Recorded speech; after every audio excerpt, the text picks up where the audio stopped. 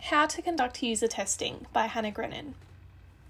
Testing involves yourself, your project team, and your users rigorously testing the solution that has been created.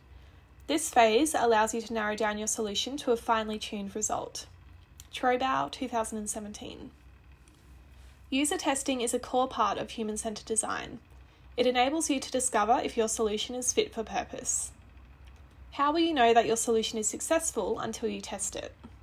For example, imagine that you create an e learning course, it meets the learning objectives, it provides users with the skills that they require, and it meets the project goal. This all sounds great, right? Now imagine that you conduct user testing. None of the users can view the videos within the course because their computer software does not support it.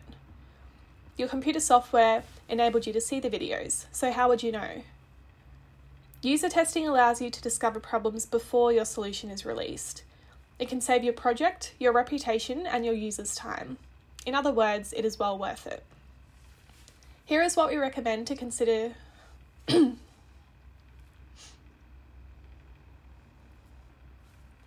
Here is what we recommend to conduct user testing. Step 1 Prepare a prototype. Conduct user testing with a small mock up version of your final solution. Why? Well, because your solution is likely to change. Spending too much time on your prototype leads to emotional attachment. In turn, your willingness to change decreases. Step 1 Prepare a prototype. Conduct user testing with a small mock up version of your final solution. Why? Well, because your solution is likely to change. Spending too much time on your prototype leads to emotional attachment. In turn, your willingness to make changes decreases. Your prototype should be as close to the real thing as possible whilst not going overboard with details. Step 2 Invite users. Invite to the user testing yourself as a project manager and instructional designer, a support person or persons to help you facilitate the user testing process, and a sample of users. Our tip is to, not overcommit to testing with a large number of users.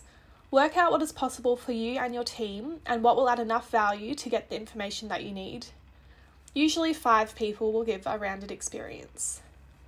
Step 3 Book in time. Book in time to conduct your user testing. The amount of time that you book will depend on the nature of your prototype. Our team gains the most value from conducting in person user testing. This allows us to control the testing environment, answer questions, and make observations, which is often crucial information.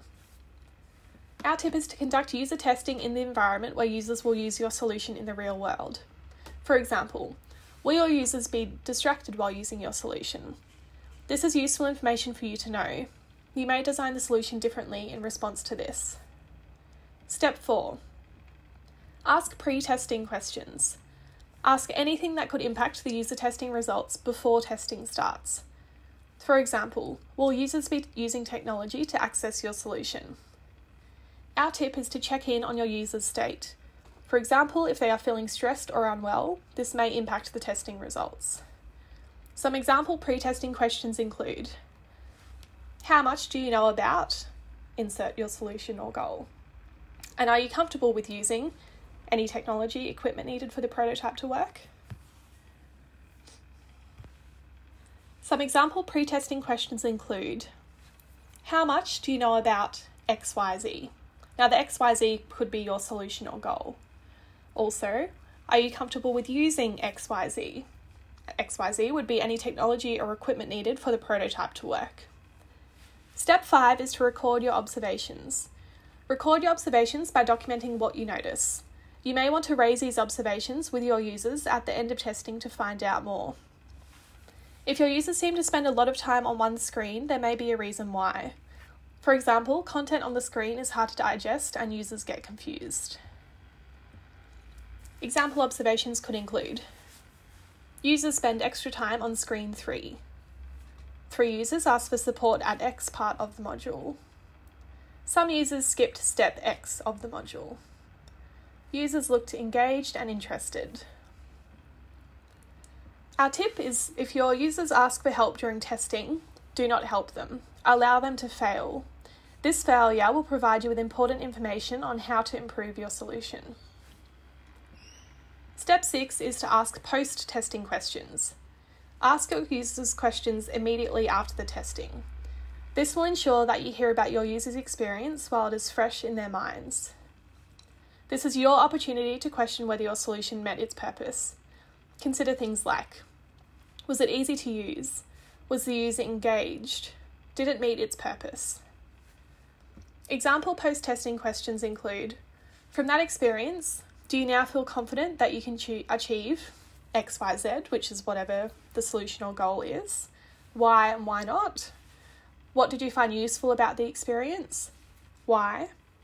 What did you find challenging about the experience? Why? Is there anything that you would improve?